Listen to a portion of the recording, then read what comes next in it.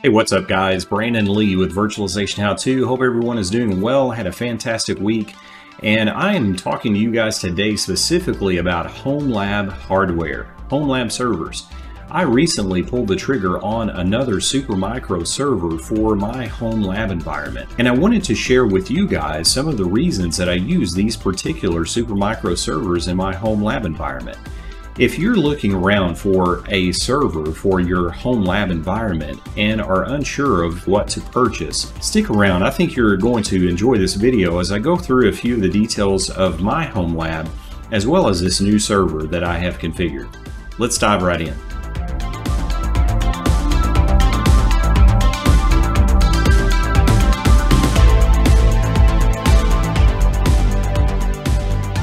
Wanted you to meet the newest addition to my home lab server environment. Supermicro Xeon D 2146NT system on chip processor powered home lab servers. And these are actually classified as edge servers, edge data center servers, embedded slash IoT servers from Supermicro. And they fit the bill extremely well. And I have been using these servers and similar from Supermicro for quite some time now. And I have many reasons for that. These servers are extremely powerful for their size. They have a lot of enterprise capabilities built in, such as uh, built-in IPMI, which is out-of-band management, and just the real enterprisey feel to the hardware and some of the add-on solutions that you can buy from Supermicro. Just a level set, this is not a Supermicro sponsored video, although I would welcome that from Supermicro, uh, especially as much as I love their servers. Uh, but it's simply for me and my home lab environment and my use cases and needs. The Supermicro servers have really worked well for the workloads that I have wanted to run in my home lab environment. So next I wanted to take you guys through taking a look at the insides of the Supermicro server, the add-on card that I have added, how I've mounted the hard drive inside of the chassis of the unit, and a few other details. This particular Supermicro server is the Supermicro SYS E300-9D. Uh, so it's a system on chip home lab server.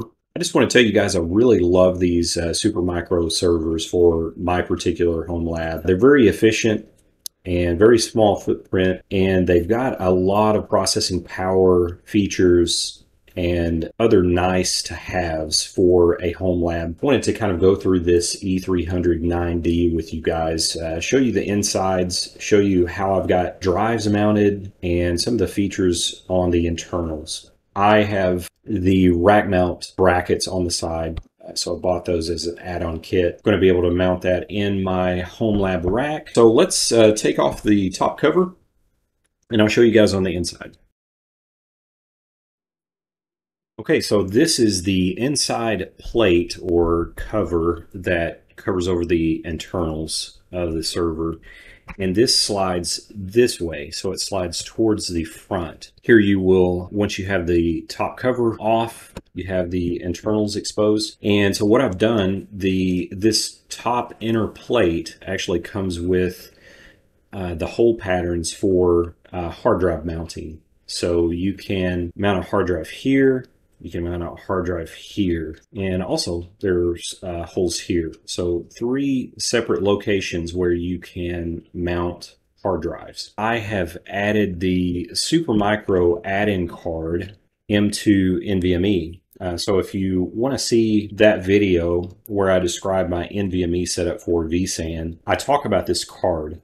Uh, so this, I configured this server with the riser card and this particular riser card allows you to add the PCIe slot card. So that's what I've done. I've added the riser card.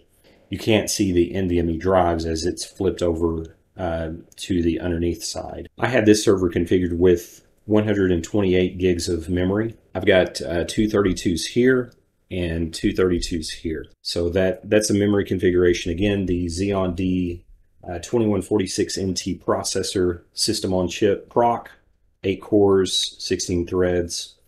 I have uh, a lot of other servers in my particular home lab uh, set up with uh, the Xeon D system on chip processors, and I, I have really loved those in the home lab for efficiency purposes, and they just perform. Uh, they really carry the workloads that I have thrown at them uh, with no issues. Uh, and I have a lot of VMs running in the home lab environment. So I just wanted to show you guys how uh, I have that configured on the inside. I know the wiring is kind of messy. I just threw this together last night and got the wiring in there and the drive mounted. Uh, but that's that's how the internals look.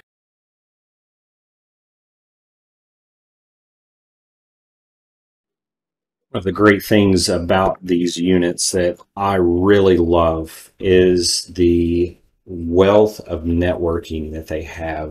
These have six 1 gig ports as well as two 10 gig SFP ports. This is a management port, which is another great feature of the Supermicro servers. They all have the built-in out-of-band IPMI uh, management.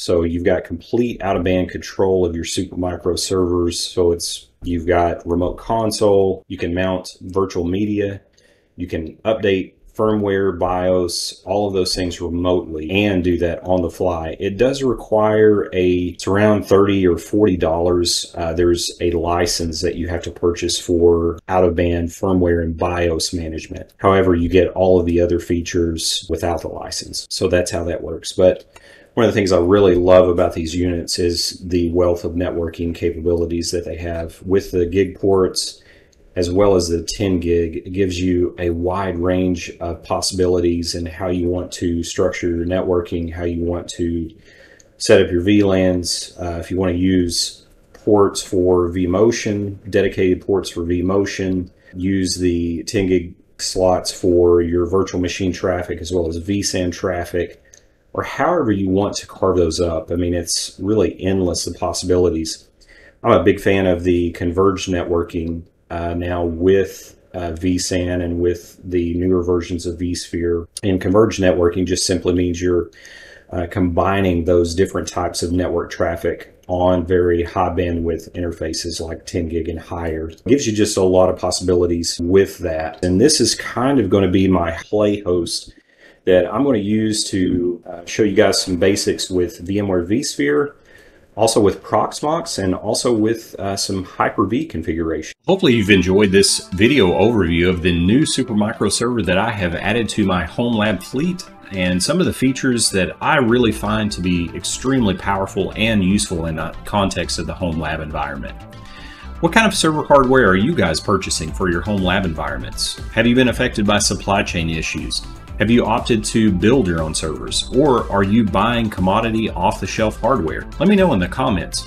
Well, I'm Brandon Lee. Please look forward to the future videos, which I'm going to be using this hardware very heavily. Please do subscribe to the channel, like the video, and I will see you guys soon.